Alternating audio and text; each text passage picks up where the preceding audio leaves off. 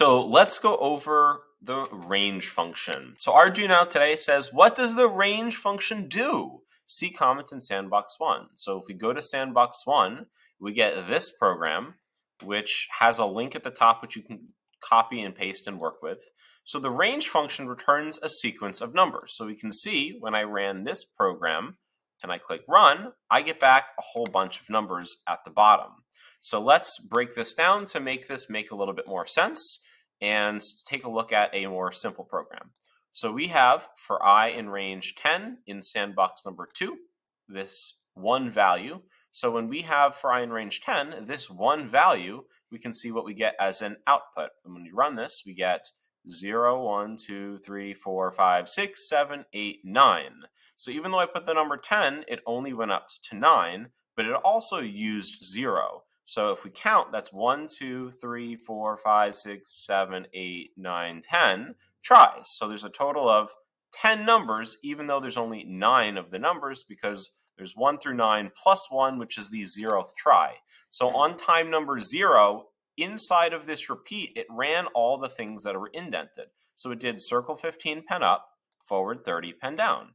And it did that the zeroth time, then the first time. So each of those is a iteration of doing the stuff below the loop. If I were to not have something indented, we would have an error. We need those four spaces that indent. And you'll notice that that one value, that uh, value is our end value. So if we take a look at the first sandbox, we can see that there's three possible numbers. A start number, which is optional, a step, which is optional, and the stop value, which is what we put in, which says what position to stop, but it is not included. So you'll notice that 10, it never got up to 10. 10 was not included. It only got up to the number right before it. So if I change that to 5, that would repeat 0, 1, 2, 3, 4. It does 5 circles because 0 is the first try. It doesn't get up to the number 5. So that is the first value, the first parameter, which is 10.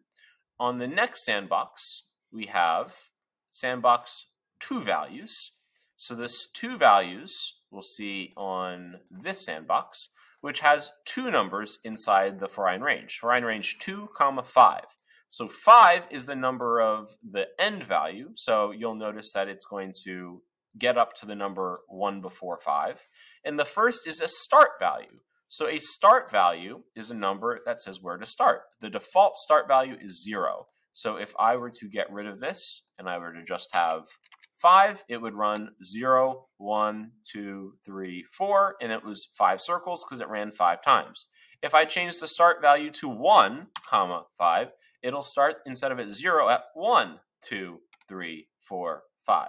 But this time, because I increased the start value, but the stop value is the same, it only ran 4 times. So if I increase that to 2, you'll see it starts at two, three, four, and then it stops because it's the number right before the end value. So it only ran three times. So we can say where we'd like it to start at, and then we can kind of control how many times it repeats for in order for its to work. Now the 4, as we just mentioned, for is just getting ready to repeat something. When we say for, it's getting ready for the range, which is a list of numbers, and that list of numbers is the beginning value to the ending value. So the first is the beginning value of 2 to the ending value of 60, but not including that. So the range we can use to, you know, decide how many times we should repeat. So I'm going to set that back down to 2, and we'll notice that, you know, if I set the ending value to 50, it will repeat 2, 4, 6, uh, what did I do wrong here? Ah, because I forgot to increment it. Yeah, it's running, starting at 2 up to 50. My brain wasn't working yet, even though it's off the screen. So what I want to show you is that if you add a third value, let's say 2, that third value is the increment, is an increase. So no longer will it do 2, 3, 4, 5, but 2, 4, 6, 8. So I could, let's say I wanted to increment that by 10 every time. That's a step value of 2, 12, 22, 32, 42. So I can increase the number all the way up to whatever the end value is. Now notice we increased starting at 2, that was the first run. It increased by 10, 12, 22, 32, 42, but it couldn't run 52 because 50 is the end value. So it stopped and it ran five times with a step interval starting at 2, ending at 50, but the count increased by 10 every time. So I have a second program that goes over, so we're going to start at 2, go up to 10, but go up by 3 every time. So 2 is the first one, then 5, then 8, and it ran 3 times the commands that are in, indented inside of the repeat. Again, indent is a tab key. So we are going to get ready to repeat using for, I is a placeholder. That placeholder is of whatever time number we are on.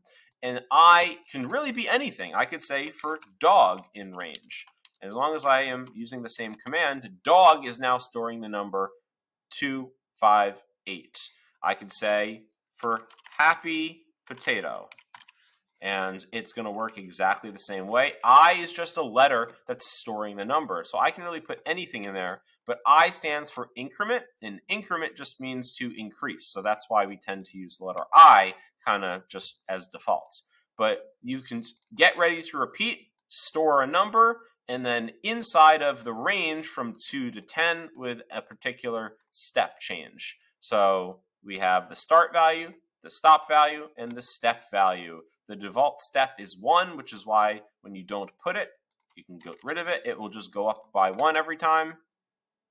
If you decide to re-add it in, it'll go up by whatever number that you ask it to go up by, but it doesn't get to the end value if it hits it. It has to go 1 before it because it's no incluisa. It's not incluido. It's not included.